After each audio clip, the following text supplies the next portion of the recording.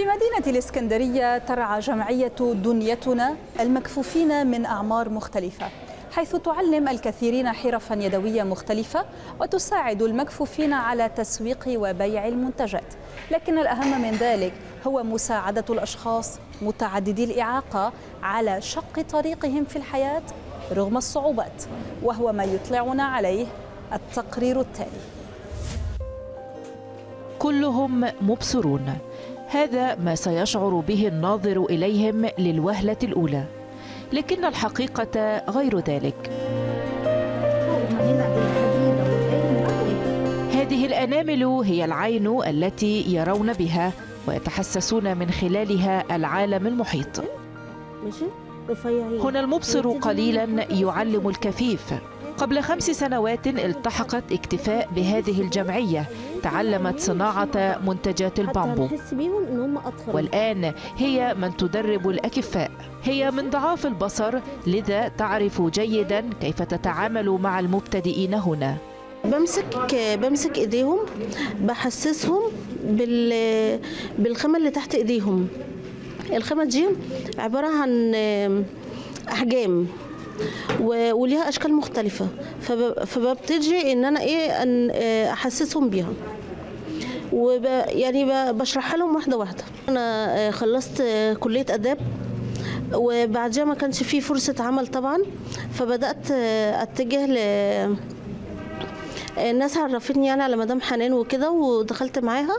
فبدأت تجيب لنا ناس يعني جابت لنا مدرب وكده وبدأت أتعلم. أنا آه متزوجة وجوزي كفيف وبدربه معايا برده في في البامبو. هو ما كانش بيعرف حاجة عنه خالص فبدأت برضو أعرفه وبدأ برضو يستوعب كويس بدأ يعمل حاجات لوحده. يعني أوقات مثلا ببقى في الجمعية وهو مثلا في البيت بيبتدي هو يعمل شغل مع نفسه في البيت. حرف يدوية تعلمها الجمعية للأكفاء. ضعاف البصر يعملون في صناعة السجاد. أما من فقدوا نظرهم فيعملون في صناعة البامبو ومنتجات أخرى. هذه الجمعية تأسست قبل خمس سنوات لرعاية فاقد البصر فقط.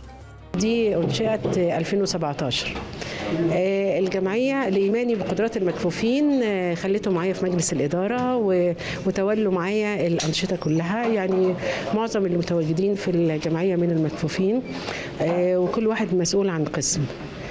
ركزت قوي على ورشة العمل والحرف اليدوية عشان أنا عايزة على قد ما أقدر إن هم يبقى عندهم استقلال مادي ومعنوي وإن هم يحسوا بنفسهم ويحسوا بذاتهم. فعلمتهم حرف يدوية. في الأول استعنت بمدربين بالنسبة للبامبو والمكرمية والسجاد اليدوي والكليم.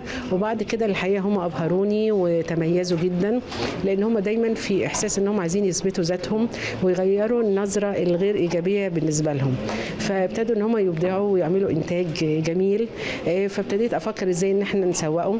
فالحمد لله بنسوقه عن طريق معارض في كل أنحاء مصر بالإضافة لصفحتنا على الفيسبوك. لا تشترط اعمارا معينة ليلتحقوا بها لكن الأهم هو تغيير واقع غير المبصرين في ظل نقص فرص العمل التي قد تكون مناسبة لهم.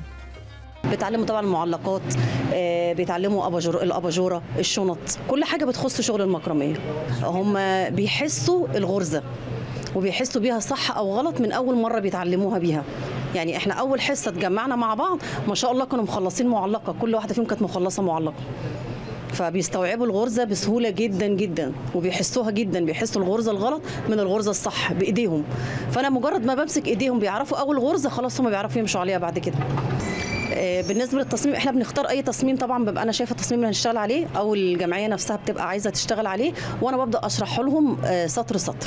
فهم بيمشوا بناء على كلامي أنا مجرد ما أنا بقول لها مثلا هنعمل السطر ده غرزة رباعي. هنعمل السطر ده غرزة بالورد. فخلاص هم عارفين دي إيه ودي إيه مع استمرارهم في الشغل. عائد بيع المنتجات هذه يعود عليهم هنا لكن هناك بعض منهم يعملون من بيوتهم وتساعدهم الجمعية في تسويق ما يقومون بتصنيعه. أن يتعلم الكفيف حرفة ينافس بها المبصر فهي خطوة ستغير حياته بشكل كبير. فهؤلاء رسموا لأنفسهم مسارات حتى وإن كان هذا في أعمار متقدمة. لكن هناك أطفال ولدوا ولديهم إعاقات متعددة بجانب فقدانهم النظر. هؤلاء يحتاجون مساعدة أكبر لهم ولأسرهم للتعايش اليومي على الأقل مع الحياة.